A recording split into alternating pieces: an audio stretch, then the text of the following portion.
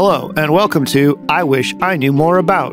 In this series, we take a look at things I know a little about, but wish I knew a little bit more about in music. In this episode, we're looking at pitch percussion every kind there is, where it's from, what it's made of, how it sounds, and if it will cure my depression. Nope. Since the beginning of time, all sorts of animals have slapped things for fun and self expression. That could be a rock, a log, or a bag of carrots with a cactus leaf 15 times. We started to develop rhythm and slap things together, like closeted gay dudes in every furry comic I've ever read. From there, we probably figured out that different types of things sound different when they're slapped, and that was the beginning of the concept of pitched percussion. I'll let you drum on my penis. These instruments generally have a lot of cultural significance and are in many cases ancient. That doesn't mean that they don't work in modern composition, though. Many of these instruments work incredibly well for techno, house, downtempo, soundtrack work, and a whole other slew of modern applications. While researching this video, I discovered that there was a classification system for musical instruments based on their physical properties called the Hornbostel Sachs system. This system breaks percussion down into a few main categories, which I will now read to you from Wikipedia. 111.1 Concussion idiophones, aka clappers, played in pairs and beaten against each other. 111.2 Percussion idiophones. This includes most percussive instruments played by hand or with a percussion mallet, including the hang, gongs, xylophones, but not drums, and some cymbals. 2.1 Struck membranophones, including most types of drums, such as the timpani, snare, and tom-tom. No, no, that's the tom-tom club. Th there we go, thank you. 412.12 Percussion reeds. None of these are pitched, so we do not care. The wiki page that I just read this to you from contradicts the wiki page with a list of pitched percussion, and I already put days of work into collecting media for this, so here are the other ones we'll be including in this video. Section 3.1 Simple chordophones or zithers, including the hammer dulcimer and its cousins. The Hornbostel Sachs system is fascinating, and I recommend you check it out if you're interested in exotic or hard to find musical instruments. I'm also not going to be saying Hornbostel Sachs again because my mouth hurts, so we'll call it the Hornsuck system from now on. We'll be organizing this video by a hornsuck category, starting with lithophones and ending with chordophones. I'll tell you a little bit about each one and give you some examples. Some of those examples are going to come from Native Instruments Kontakt and UVI instruments, and some come from YouTube. I will list all my sources in the video description, and patrons will get the audio samples from this video. With all that out of the way, we're ready to go. Let's dive in and learn more about pitched percussion. First up, we have lithophones. These ancient instruments are made of rock, which, when struck, produce musical notes. Rock gongs and stone marimbas fall into this category, the latter of which you're hearing now. A fun fact the rocks could either be placed naturally by nature or placed by humans, which means anything could be a lithophone if you're not a baby about it. Next up is the chime bar. This falls under the Hornsuck system designation 111.22, or individual percussion plaques. They were designed in the United States in the 20th century and sound similar to a glockenspiel, but with much more sustain. Under the same designation is the bianchong, an ancient Chinese instrument made of bronze bells, each producing a distinct tone. The demo that you're hearing right now is from the Sound Magic bianchong instrument. Another related instrument are song bells, which also originated in ancient China and are essentially a cross between the vibraphone, glockenspiel, and celesta. Uh, don't worry, we'll get to all those soon, you little muffin. This is a crystallophone, a family of instruments including the glass harmonica, singing glasses, and more. They use glass bars or tubes to produce musical tones through vibrations and date back to France in the 18th century. Next up is the talampong, and oh my god, it's time for gamelan! It's time for gamelan! We're gonna put all the gamelan instruments together because there are a lot of them. So, what's going on here? Well, when it comes to pitch percussion, Indonesia has it on lock. That's because of gamelan, the traditional ensemble music of the Javanese, Sundanese, and Balinese people of Indonesia. A gamelan orchestra is made of percussive elements, most commonly metallophones played with mallets, hand drums called kendang, xylophones, bamboo flutes, a bowed string instrument called the rabab, and a zither like instrument called the siter. Here are all the pitched percussion instruments I found that belong to the gamelan orchestra. The talampong. Talampong is a traditional music instrument of the Minangkabau people of western Sumatra, Indonesia. The talampong produce a static texture consisting of interlocking rhythms. Gender. It consists of 10 to 14 tuned metal bars suspended over a tuned resonator of bamboo or metal, which are tapped with a mallet made of wooden discs in Bali or a padded wooden disc in Java. Saron this normally has seven bronze bars placed over the top of a resonating frame. It is usually about 20 centimeters high and played on the floor by a seated performer. This provides the core melody or balungan in the gamelan orchestra. Slenthem, part of the gender family, as it's also known as the gender panembung, a metallophone with metal bars suspended over bamboo resonators. It generally plays the most basic form of the melody in a composition. Angklungs are made of a varying number of bamboo tubes attached to a bamboo frame. The tubes are carved to have a resonant pitch when struck and tuned to octaves similar to Western handbells. Calung, a bamboo xylophone. Calung is actually the name for the Diospyros macrophylla tree in Sudanese language. Kemanak is a banana shaped slit drum made of bronze. It is struck with a padded stick and then allowed to resonate. It has a specific pitch which can be varied by covering the slit, but it is not matched to other instruments of the gamelan. Bonang, a collection of small gongs, sometimes called kettles or pots, placed horizontally onto strings in a wooden frame. All the kettles have a central boss, but around it, the lower pitched ones have a flattened head while the higher ones have an arched one. Each is tuned to a specific pitch in the appropriate scale. Kenong. It's more gongs, baby. Yeah! Gongs! According to my notes, that's all the pitch percussion used in the gamelan orchestra. Sorry for my pronunciations. Thank you for coming to my TED Talk. Let's get back to the list. Next up are four metallophones from Thailand I'm going to lump together. They are the Ronat A, Ronat A Lek, Ronat Tum, and the Ronat Tumlek. These are traditional Thai instruments that all resemble a xylophone. They have a series of wooden bars suspended by cords over a boat shaped resonator, and they are struck by mallets. They are used in a traditional Thai piphat ensemble. The Rana Ek Lek is similar to the Rana Ek, but smaller, and the Rana Tum is similar to the Rana Tum Ek, but larger. This is the taxala a traditional folk instrument from the Basque country. It can be made of wood or stone and is traditionally played by two people. In some regions of the Basque country, the name means racket, while in others it has been said to mean the trot of the horse. It's been used as a communication device for funerals, celebrations, and the making of booze. I'm spending more time on this than others on this list because this shit goes hard as fuck. Seriously, look at this. Still in the same family as the other lithophones, we have the Silex piano.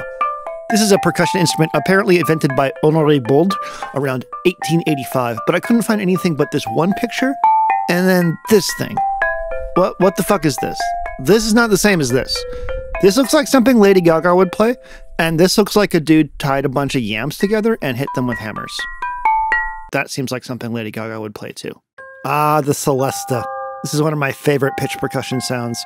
It was invented in France in 1886 by Auguste Mousteau, and this is a keyboard instrument with metal bars struck by hammers.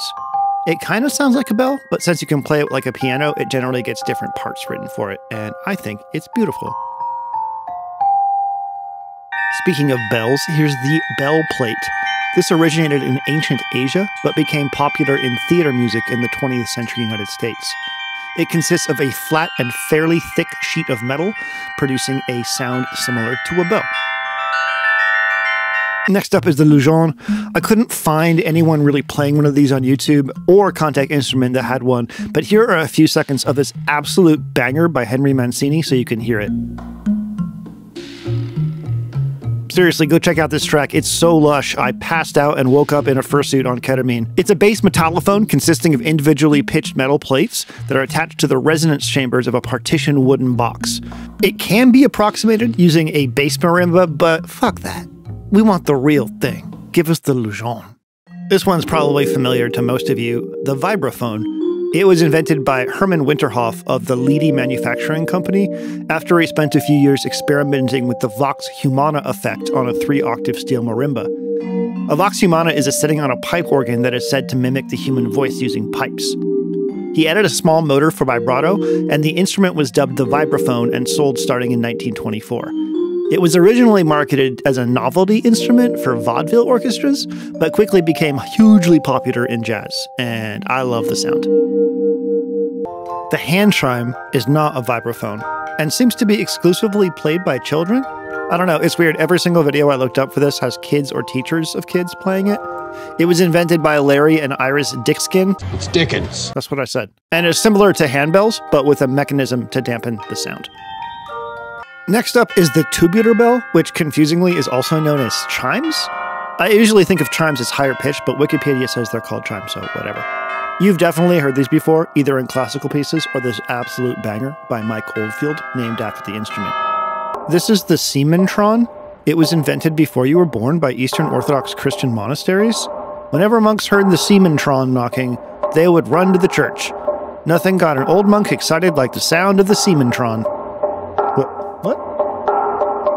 Called the Semitron? Do you want to do another take? No? Okay. Sounds good. This beautiful bean is the Aztec teponaztli. It's considered a slit drum, which is a class of percussion that isn't actually a drum because it doesn't have a drum head. The slit is used to create one or more tongues, and tongues of different areas or thickness will produce different pitches. You'll find slit drums in a lot of cultures from Africa to Southeast Asia and Oceania. Okay, here's one that I've actually wanted for a while. This is the handpan. Its predecessor is called the Hang, and it was invented by Felix Rohner and Sabrina Scherer in Bern, Switzerland. They have a company called Panart Hangbau AG. You could call it a hang drum, but then if you do, Felix and Sabrina show up at your house and shoot you in the knees. It's part of a family of instruments related to the Caribbean steel pan or steel drum, which is traditionally made from repurposed oil barrels. A company called Lumen makes an electroacoustic handpan I desperately want, so if anyone wants to send me one, that would be great. Thanks. We are currently in the section of the horn suck system designated for percussion vessels, specifically gongs. Gongs are super ubiquitous instrument throughout all of ancient and modern history and come in a dizzying variety. You know gongs. I know you know gongs. You know gongs, and you love gongs. Gongs. This is a kulintang. It's a traditional Filipino instrument made of a set of gongs arranged in a row and played with mallets. These are singing bowls. They're ancient Tibetan resting bells with an open upward face. They produce a harmonic sound when rubbed with a mallet and are used for meditation and relaxation. And they, and wait, no, no. What are, what are you doing? doing? No, don't don't do that. Carillons are a set of large tune bells from medieval Europe. You'll hear them used in churches in tons of European cities. This is the skrabale. It's a Lithuanian folk instrument consisting of wooden bells, and I would very much like to have one in my house. Hey, it's a flexatone. It's it's flexatone time, everybody. Everybody loves a flexatone. Get a flexatone. Buy a flexatone for your friend. Run a flexatone through PitchMap and conform it to a series of pitches. Then run it through Arturia's earth thing. Wow, what a flexatone! These next three plucked idiophones or lamellophones, I'm going to lump together. They're all traditional African instruments and they all work by plucking to create a pitch via vibration. They're the kasanji, the akembe, and the mabira. You might be saying, hey Jeremy, aren't those just called thumb pianos or kalimbas? And I would say, yes, they are. You bright little pistachio. What a smart little nut you are. Boom whacker. This thing sounds like it's just ready for a four on the floor kick drum. Honestly, the boomwhacker kicks ass. According to the wiki, boomwhackers are hollow, color coded tubes tuned to musical pitches, often used for team building and music education. What? Team building? No, don't do that. I don't want to team build again. Stop! I don't want to team build! You probably think of xylophones as these, but in truth, xylophones have been around in far greater forms for hundreds and hundreds of years. The actual xylophone is defined as a percussion instrument with wooden bars, typically played with mallets. The modern Western xylophone has metal bars, I think. Actually, I don't know. Let me look. Oh, it doesn't. What the hell am I thinking?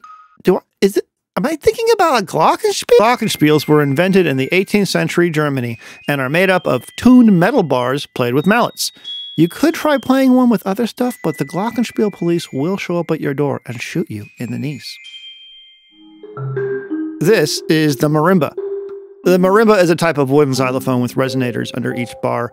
It was invented in Central America and it is old. It's been used in a ton of different types of music and is always a great choice for a pitched percussion instrument in a modern electronic track. Now for the weirdest and most mysterious thing on this list the Quadrangularis reversum. This is one of the many experimental instruments created by artist Harry Partch, and it consists of a diamond marimba made of 36 African padauk blocks and 10 20 alto register blocks with bamboo resonators under each block. I couldn't find any performances with this instrument, but I did find the wiki page for instruments by Harry Partch, and it absolutely fucks. You should definitely go check it out. The Xylo Rimba exists, and I'm not going to bother even looking up more about it. It exists. That's all you need to know. The balafon is a traditional African instrument. It's wooden xylophone with gourd resonators, and it sounds really good. I would choose this for a techno or downtempo track as well. Falling under the category of instruments like the Jew's harp, the ancient Chinese klaxon is absolutely wild. This little fella is the marimbula, or bass kalimba. Say hi to the little guy. Look at him go. Looks like a Pokemon waiting to happen. Daxophone. It's the Daxophone time. Daxophone your life. You've tried other phones, but they're nothing compares. It's time for Daxophone. Daxophone time. Musical saws are absolutely wild. I wonder if this video of Wintergatan playing one will get uh, this video claimed. Uh, if it's in the video, it didn't. Uh, let me know in the comments, I guess. Um, also, go watch Wintergatan. He's pretty cool. The glass harp is a friction idiophone. Uh, I don't know why I didn't include this in the section about crystallophones. It absolutely belongs there. You're probably thinking this video is sponsored by Big Crystallophone, right? Wrong. It's not sponsored at all. Support me on patreon.com Red Means Recording if you'd like to see more content like this. Um, friction drums exist. Uh, this is a friction drum. What are you doing, step bro? Gudu gudu. It's gudu gudu time. This ancient Nigerian membranophone is known as the father of all drums. I'm just realizing, is it membranophone or membranophone? Membranophone. Membranophone. Membranophone. It's membranophone. The timpani comes from 17th century Italy and is also known as a kettle drum. I always felt like these would be really fun to play. I'm going to lump these next three together. Uh, the tom tom is a membranophone. Wait, Membranophone. Okay, yeah. The tom tom is a membranophone in which the one end without a membrane is open as opposed to sealed. There are a lot of different variations here, but for pitched versions, we have the rototom and the octoban. Rototoms make great fill toms in a lot of different types of music. Do not sleep on them. The tabla and the tabla tarang fall under the category of percussion, which produces their sounds using the vibration of a tightly stretched membrane. This group includes all drums and kazoos. A tabla is a kazoo. Let's go ahead and add the dholak and the mirdangam to this part of the video. They are both two-headed drums struck by hand. I'm also going to be adding the santur here because I did a bunch of recordings of it with this group of instruments. Uh, it is actually under the classification of like hammer dulcimers or zither. With the tabla, they are part of the classical and contemporary Indian music ensemble. The Japanese otsuzumi and tsuzumi are considered instruments in which the body is conical shaped, which is a wild and amazing definition. They're used in traditional Japanese theater. This is the Junko, otherwise known as the Junko, otherwise known as the Junko. It is a traditional Korean instrument used in Samulnori. Oh my god, how do you say that? Samulnori. It's used in traditional Samulnori ensembles in Korea. A Samulnori ensemble consists of four main instruments, each representing an element of nature.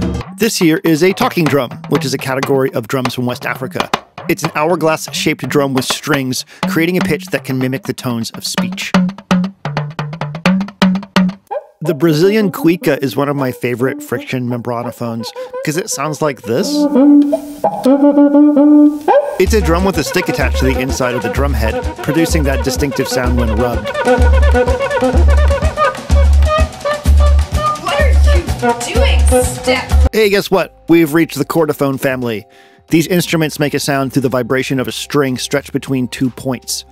Wikipedia told me that these were pitch percussion in one place and not in another, but they're cool and I want you to know about them. The jalhari is a traditional Indian stringed percussion instrument. It has a large resonator called a kundam, usually made from a log of jackwood.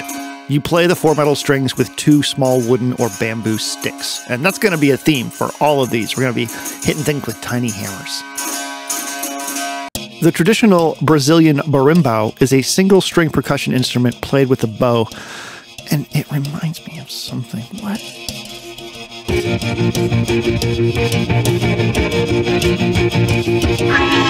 The next eight all fall under the classification of hammer dulcimers or zithers. They involve strings being struck with little baby hammers to make incredibly rich, full compositions.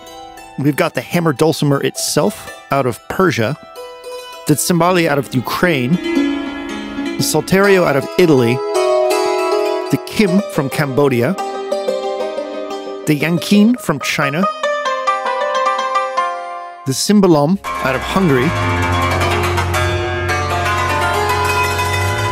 and the dantan tapluk from Vietnam.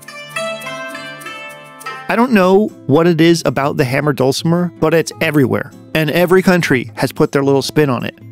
Okay, so I was going to make a joke here about like, you know, aliens seeding the idea of the hammer dulcimer everywhere. But the truth is, it's just because of trade routes. Like, it originated in the Persian area and then through trade made its way both into China and into Europe. So, yeah, it's certainly not that complicated, but it is still pretty wild how ubiquitous this thing is. Also, where the fuck are all the sober dulcimers? Why are all the dulcimers hammered? As we begin to near the end of our list, we find the clavichord. This one surprised me a little because I didn't think this would be considered a percussion instrument. A harpsichord isn't a percussion instrument, but a harpsichord is plucked and a clavichord is struck. This was traditionally used as a practice instrument and composition aid because it wasn't loud enough for performances. In the same confusing not a harpsichord vein is the pantalon. This was considered a big dulcimer with a double sounding board and about 200 strings. It had no dampers, so the strings vibrated sympathetically, giving it a rich, resonating tone that was quite novel at the time and made a noticeable stir. The lack of dampers, however, made articulation difficult. This is the Indian onovilu. There's a rich tradition between the painting of these onovilu and the playing of these onovilu, but honestly, I'm exhausted from working on this script all day, and I don't really want to get into it. And with that, friends, we did it. We got through what hopefully is every single pitch percussion instrument out there. If there's one I've missed, or if you want to tell me your favorite, let me know in the comments below. And don't forget that these instruments all make really, really, really cool additions to modern electronic music. So don't be afraid to go find like a Kontakt library or search through the presets of what you have in your DAW right now and start throwing these over some, um, you know, beats in the genre that you like to produce in. Uh, they are a unique and melodic, cool way to uh, work with rhythm and melody at the same time. So, yeah, I hope that was interesting to you. I'd say this first episode of I Wish I Knew More About was a success. If you agree, give the video a thumbs up, maybe subscribe, maybe go to the Patreon Red Means Recording and give us some support there. I don't know. Well, you can do whatever you want to do. I think this was a success, but what do I know? I'm just a stupid slut. Until next time.